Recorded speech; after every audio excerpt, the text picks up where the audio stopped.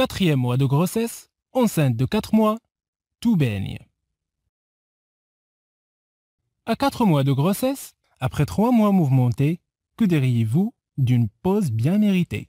Une maman qui s'épanouit, un bébé qui pousse une bienveillante visite médicale pour rassurer tout le monde. Joli programme, non? Voilà que débute le deuxième trimestre de grossesse. Cette période est considérée par beaucoup comme la plus agréable de la grossesse. Au début de cette quatrième semaine, les nausées et la fatigue s'estompent, la libido augmente, le ventre s'arrondit nettement, ce qui fait en général fondre le futur papa. Et le bébé commence à bouger pour votre plus grand plaisir. C'est aussi pendant le quatrième mois que vous ne prenez réellement conscience que vous êtes enceinte. Et la grossesse devient aussi plus concrète pour votre compagnon. Vous achetez vos premiers vêtements de grossesse et n'avez qu'une envie, mettre en valeur ce joli ventre rond.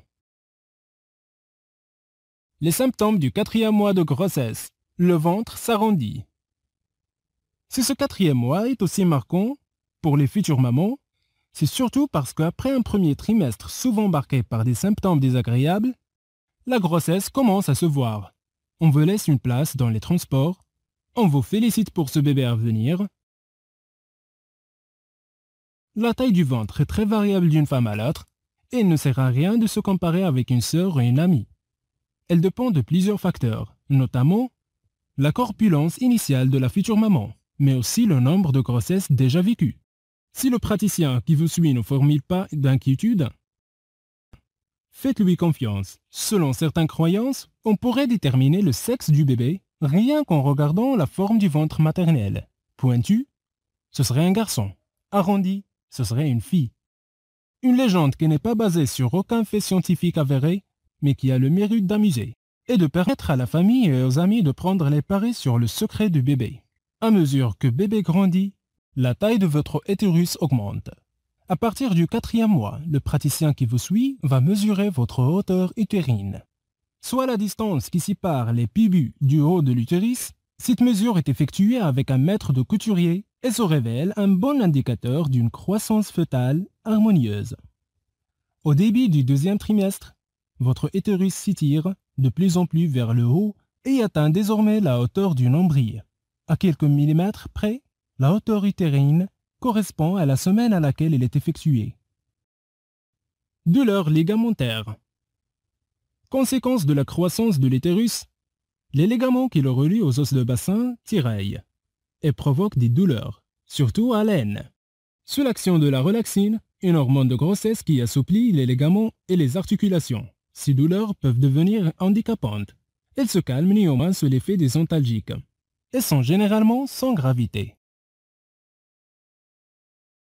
Prise de poids. Vous avez sûrement de l'appétit à revendre et c'est normal. Au quatrième mois, votre organisme fonctionne pour deux, dont un petit être en construction. Pas d'affolement. Vous ne prendrez pas de kilos superflus si vous évitez les aliments riches en sucre et en graisse. L'important est que la prise de poids soit progressive et régulière. Idéalement, une femme enceinte devrait prendre entre 9 et 12 kg pour combler vos besoins et ceux de bébé. Comptez 500 calories en plus de votre ration habituelle quotidienne. Pour surveiller votre ligne, pesez-vous une fois par semaine, mais ne vous mettez pas trop la pression. Si vous sentez que la situation vous échappe, parlez-en à votre sage-femme il pourrait vous donner des conseils diététiques ou vous orienter vers un diététicien. Le bébé au quatrième mois de grossesse. Taille et poids du bébé. 15 cm de vie et 250 g de tendresse, dont 250 cm3 de liquide amniotique. Voilà la fiche d'identité de bébé au quatrième mois de grossesse. Le corps rattrape la tête. La longueur des jambes dépasse celle des bras. La peau est toujours fine et les vaisseaux sanguins restent apparents. Votre bébé est couvert d'un fin duvet. Le lunago, vestige de l'évolution. Pas de panique, il disparaîtra par la suite. La tête, bien droite, entourée de deux oreilles. Possède deux yeux capables de bouger et de sourcils de se renforcer. Les mains sont bien formées, ongles compris. À l'intérieur aussi, bébé travaille. La partie du cerveau qui coordonne les mouvements se développe. Les fibres nerveuses s'entourent de myéline. Une gaine protectrice, la thyroïde devient fonctionnelle l'intestin réintègre la cavité abdominale, désormais assez grande pour l'accueillir. Mouvement du bébé. Bébé connaît ses premiers mouvements respiratoires. Du liquide amniotique entre et sort de ses poumons.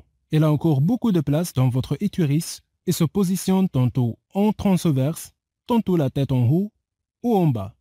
En outre, bébé n'a pas attendu le début du second trimestre de grossesse pour commencer à bouger. Mais ça y est, vers la fin du quatrième mois, vous pouvez enfin le sentir. Discret au début et même difficile à identifier. Ces mouvements se renforcent pour votre plus grand bonheur.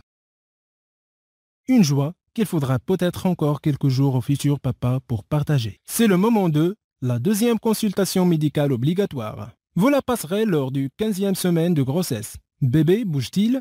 Avez-vous des saignements, des pertes, des contractions, des douleurs, de la fièvre? Pour la deuxième fois, votre gynécologue fait le point sur le déroulement de votre grossesse. Au cours de ce rendez-vous, plusieurs examens ont lieu. La mesure de votre poids et de votre tension, des analyses de sang et d'urine pour vérifier l'absence de sucre et de l'albumine. Un examen vaginal pour vérifier l'état du col et la mesure de la hauteur utérine. Si vous manquez de fer, votre médecin vous prescrira un traitement. Les sérologies toxoplasmos et rubéole sont vérifiées et leur taux contrôlé. Petit instant de plaisir et d'émotion durant cette visite. L'enregistrement de l'activité cardiaque du bébé qui vous permet à nouveau d'entendre ce son si particulier sauf si votre gynécologue dispose du matériel pour faire une échographie et vous fait le plaisir de vous montrer bébé pendant quelques secondes. Aucune échographie officielle n'est programmée pendant le quatrième mois. Tout se déroule au mieux. Tout se déroule au mieux. Vous passez tranquillement la 16e semaine de, grossesse et la 17e semaine de grossesse. Se faire vacciner contre la grippe. Si la période d'épidémie correspond au deuxième ou troisième trimestre de votre grossesse, vous pouvez vous faire vacciner sans crainte contre la grippe. Enceinte, vous êtes plus vulnérable et une contamination pourrait avoir des conséquences graves pour vous et pour votre bébé. La vaccination est sans danger pour le fœtus et vous ne devriez pas souffrir d'effets secondaires. Par ailleurs, des mesures de précaution sont toujours utiles pour éviter d'être contaminé. Évitez de rendre visite à une personne grippée et limiter le contact avec les personnes malades. Demandez-leur de se couvrir la bouche et le nez en cas d'éternuement ou de tousse et de se moucher dans des mouchoirs en papier à usage unique. Surveillez son alimentation. Dès le début de la grossesse, votre médecin vous met en garde contre certains aliments dont il va falloir réduire, ou même totalement cesser la consommation pendant 9 mois. Ces interdits alimentaires, s'ils sont parfois mal vécus par les futures mamans, sont pourtant très importants pour vous aider à rester en forme et surtout pour favoriser le bon développement du bébé. Le risque est réel d'être infecté par la salmonellose, la listériose ou la toxoplasmose. Les aliments à éviter, les fromages non pasteurisés, les fromages à pâte persillée, comme le roquefort et le gorgonzola.